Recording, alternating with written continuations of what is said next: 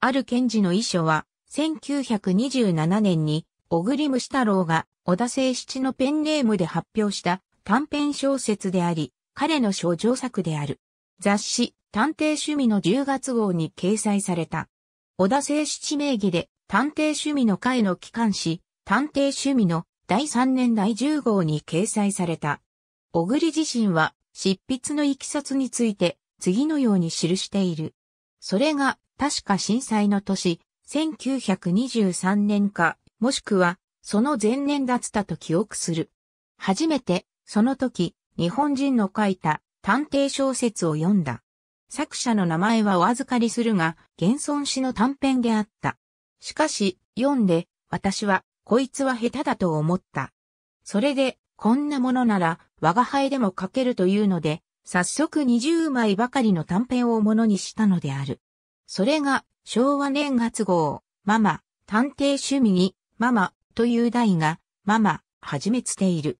ただし、本名でもなく、虫太郎でもなく、ママ、というのが筆名である。小栗虫太郎、紅柄ラクダの秘密を書いたあの頃の思い出、小栗の生前には、単行本には再録されず、1970年9月に桃源社より発行された短編集、絶景版告白覧会に初めて収録された。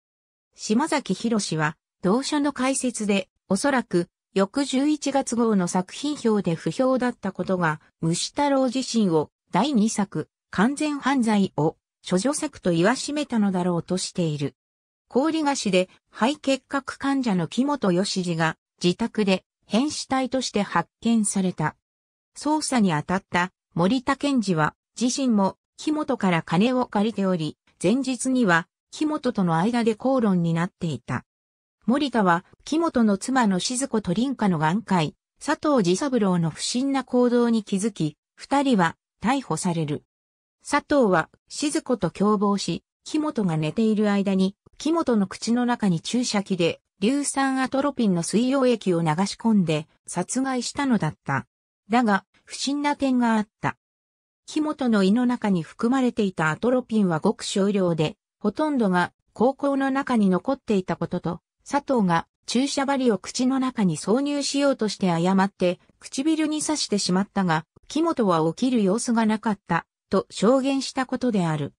つまり、佐藤が殺害を企てた時、木本はすでに瀕死の状態ではなかったのか。だが二人は有罪を認め、静子は懲役8年の判決を受け獄中で自殺し、佐藤は死刑となった。佐藤が処刑された直後、友人の昆虫学者、ナコの元を訪れた森田は、木本の死の真相に気づくことになる。ありがとうございます。